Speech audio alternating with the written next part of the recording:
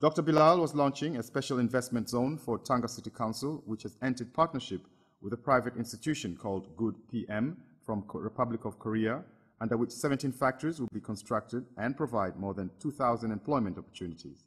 He directed ministries of energy and minerals and water to ensure infrastructure of the export processing zones are available before investors started construction of the area by the beginning of next year.